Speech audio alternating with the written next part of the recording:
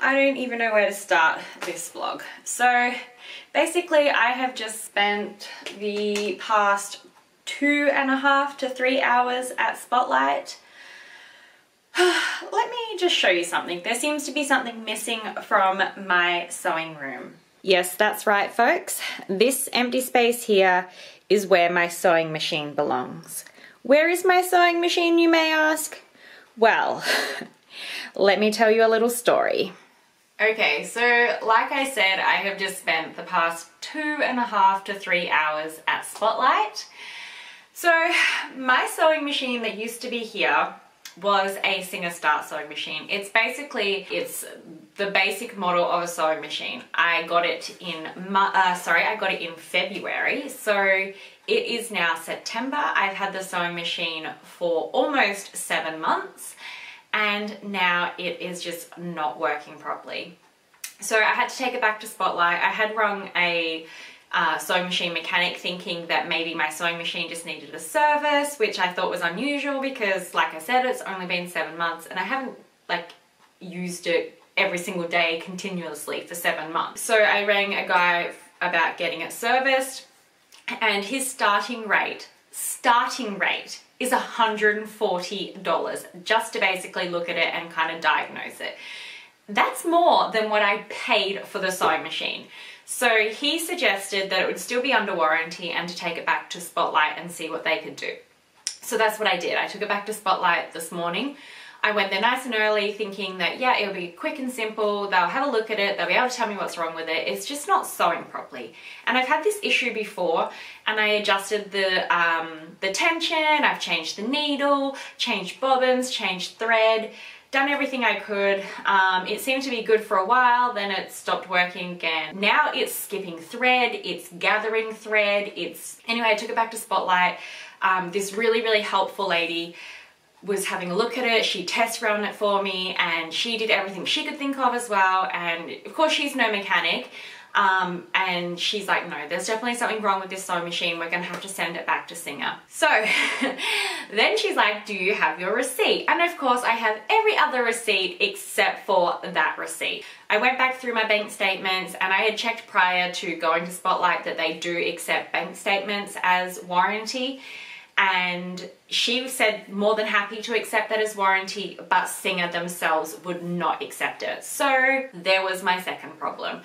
So I ended up with my bank statement, which was no good. She checked my VIP uh, card and of course it went back to the 1st of March. I purchased my sewing machine on the 26th of February, so just a few days out. She gave me a number to contact Spotlight themselves and um, that took me ages to get through. Once I got through, they were very, very helpful. They went through, found my receipt, but then they said that I would have, they would have to lodge it through IT or um, I can't remember exactly who they said, but they had to lodge it to be able to get the receipt. Um, so then I was on hold again and back off hold and on hold and then they said that they would email it to me. So I ended up having to leave my sewing machine at Spotlight and like I said, the people at Spotlight have been extremely helpful. The lady at Spotlight said that it would be a minimum, absolute minimum of two weeks and that would be basically two weeks wasn't realistic either because today is Wednesday. Um, she said the sewing machine, by the time I got my receipt, sent it back to her, the sewing machine wouldn't even get picked up until next week on Monday at the earliest. Um, and then she said by the time it gets sent down to Melbourne, they have a look at it and diagnose what the problem is, whether I get a refund, they fix my sewing machine, they send me a new sewing machine, she's not sure, she couldn't give me that answer. She said it's probably gonna be more like a month without my sewing machine. So, the moral of this story is we are doing an unboxing. I bought a new sewing machine. I really didn't want to. I didn't really, really did not want to um, because like I said, my sewing machine is only seven months old, but I also can't go without a sewing machine for at least a month. So I now have a new Singer sewing machine and I thought we could do an unboxing together. I got the Singer uh, Heavy Duty, that's what this lady recommended, that was within my price um, bracket. It was 40% off. Yes, 40% off. So I did get a really good bargain. I ended up paying $400 because I got an extended warranty. It's another two years. And the $40 actually is basically free because you get $30 to spend on fabric.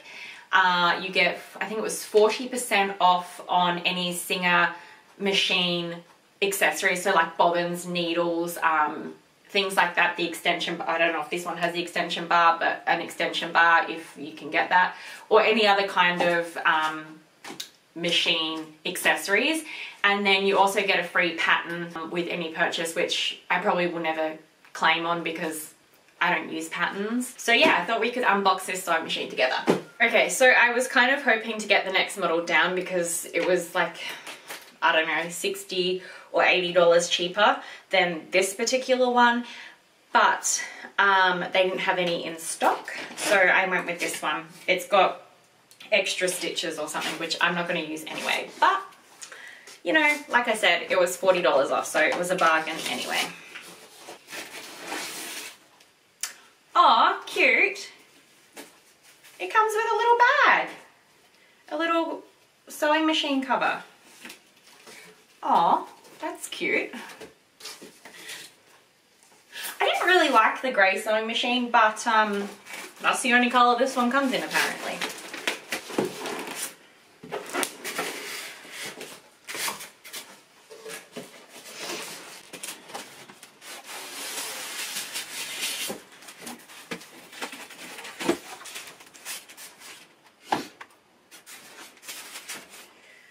Okay, so with most sewing machines, you obviously get the sewing machine. You get a little starter kit. So in here is like your quick unpick.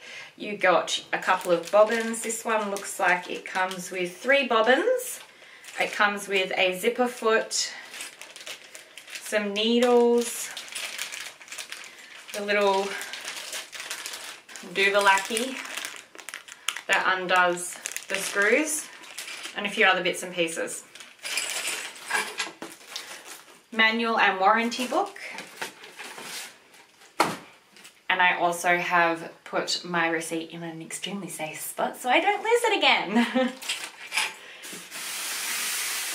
so,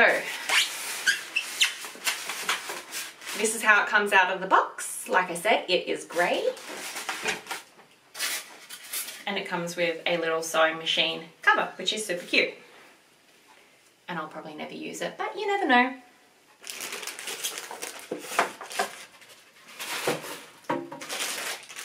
So we have the little foot pedal as well.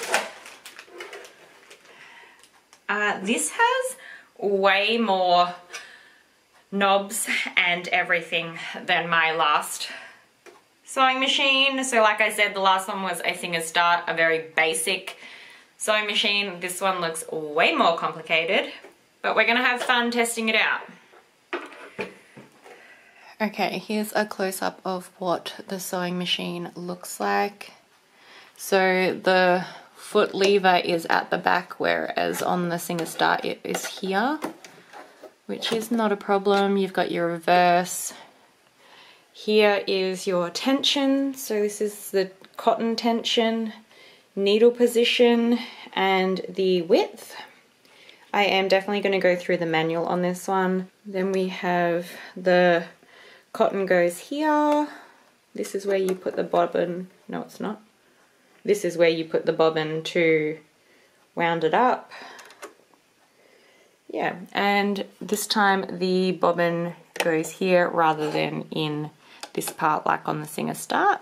Okay, so before I actually get started on setting this up and having like a little test play and everything, I thought I would show you what my sewing machine was doing. So like I said, this is the bottom stitch and it's actually, although it's like quite tension, this is on satin by the way, um, the stitch itself is pretty good on the bottom.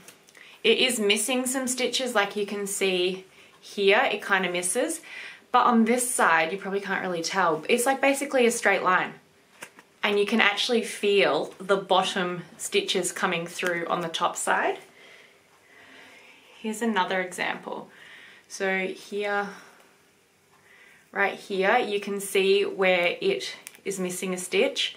And again, a straight line. I think I can almost probably pull yeah, I can pull the string, the thread straight through, which you should not be able to do, obviously. It's like I didn't even sew it. And the zigzag is no better. Like, look at that. It looks okay on this side, except for it's pulling the fabric through. So it's all lumpy. And yeah, that side, like you can see here, it's terrible. Anyway, it will be interesting to see what Singer says when they actually get my sewing machine. So I will give you an update, like in a probably a month or so as to what's actually happening with my sewing machine. But yeah, in the meantime, let's have a setup of this and a practice run. Oh my God. Okay guys, so I'm just going through the instruction manu manual at the moment. It has been years, I mean like years and years since I've used any kind of more complicated, more complex sewing machine. Anyway, so I was just going through the manual and could this machine get any better? It has an automatic needle threader. Oh, oh my God. Honestly, that has like, I'm blown away by that. I had no idea, but I'm so excited to try that. Anyway, so I'm just gonna set this sewing machine up and have a go.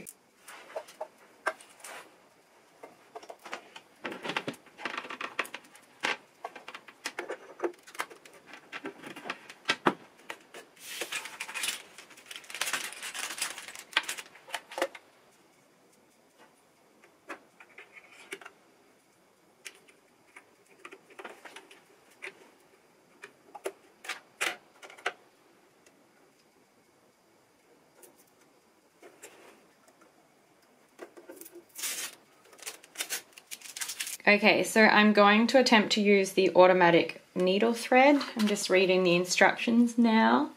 So it looks like there's a little lever back here that we kind of just pull down and will lock into position. Then it's so around there and then in front.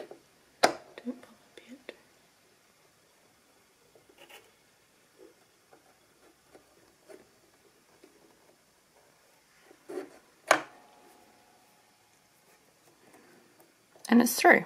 Okay, I don't know if that's any easier. Maybe, maybe once I've done it a few times, it might be easier. But I don't really find threading needles that hard. I mean, sometimes it's a little bit fiddly. It's funny because sometimes it's really easy, sometimes it's not. So I don't know. Anyway, I might just give it another go and see if it makes it any easier.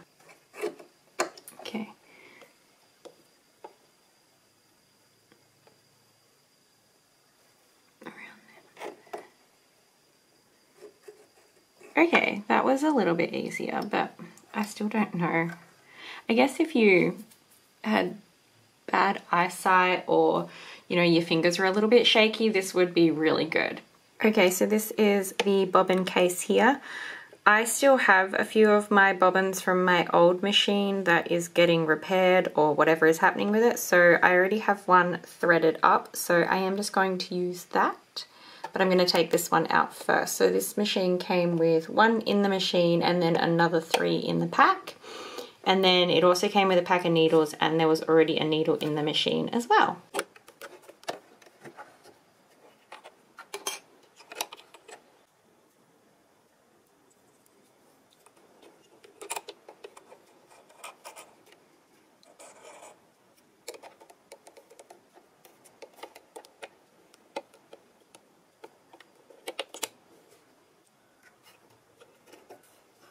I keep reaching for the lever for the foot here, but it's back here. I don't know if I can get used to that. Might take me a while. Anyway, let's see if I've actually threaded this up correctly.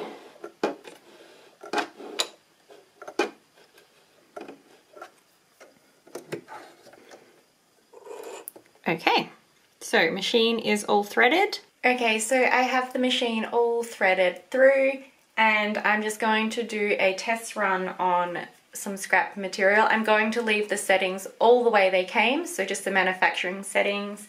So the width is at zero at the moment, needle position is in the center, the tension's on four and the length is about one and a half. So I'll just test run that and I'll adjust as I need to.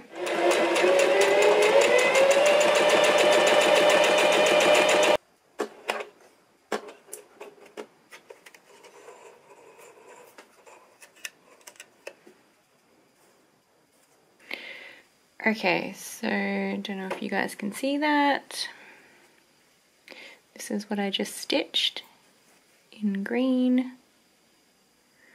So the stitching length is very, very tiny, so I am going to have to adjust a few things.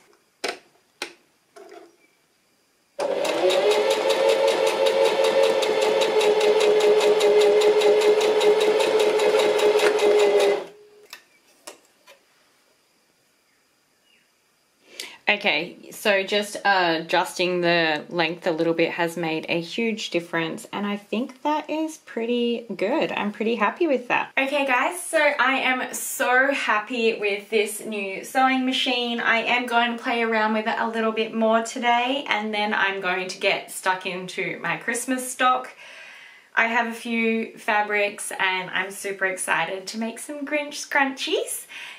Anyway, so this is the first stitch I did, as you can see, it was pulling a bit. I think that the the tension was a little bit too tight and that the length was too thin. So I'm much happier with this second stitch. It looks great on both sides. So yeah, I'm so happy with this sewing machine so far. Like I said, yeah, I'm just gonna need to play around with it a bit more, which is always fun. And I'll keep you updated with what happens to my Singer Start sewing machine. Anyway, if you liked this video and you want to see more like it, don't forget to give this video a thumbs up and hit that subscribe button down below as it really helps support my channel and it also lets me know the kinds of videos you guys like to see. Bye for now and I'll see you in the next one.